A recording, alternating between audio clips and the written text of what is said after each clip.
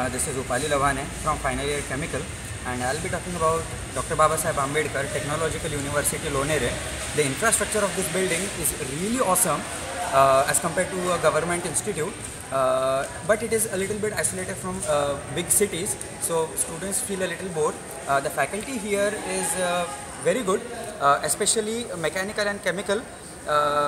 The placement cell is very poor, very very weak. Hardly one or two students from each class is are placed.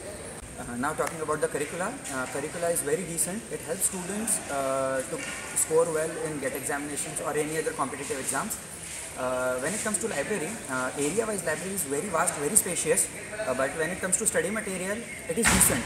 Uh, it is an I'll, I'll rate it average.